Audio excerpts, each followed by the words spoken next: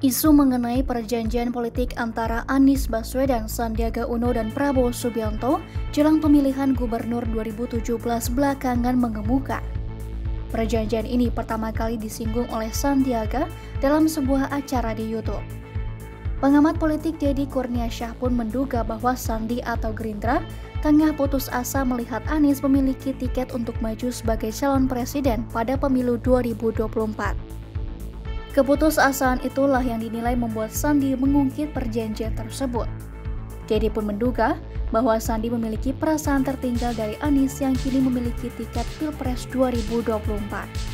Padahal saat Pilpres 2019, Sandi merupakan calon wakil presiden dari Prabowo yang didukung oleh Gerindra.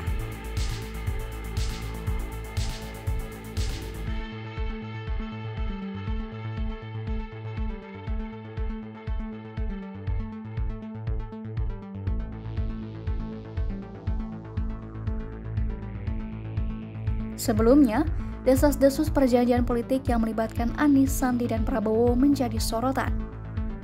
Perjanjian tersebut diduga berkaitan dengan utang piutang senilai 50 miliar rupiah. Dalam hal ini, Anies menjadi pihak yang dituding terlibat utang dengan Sandi. Menurut Dedi, utang dalam kontestasi merupakan hal yang lumrah meski tak baik bagi iklim politik Indonesia.